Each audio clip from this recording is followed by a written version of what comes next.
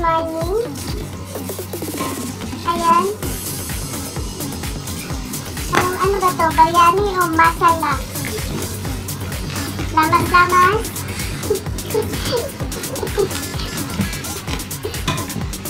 Gagawa kami ngayon ng hindi ko malaman kung biryani o ano ba. Biryani to. Ayan ang kami sinabi kami. Sabi niya masala daw. Ah. Ganito ang paglinis ng manok. Tapos vinegar. Kahit vinegar. lemon? Hindi, lagyan mo muna nito.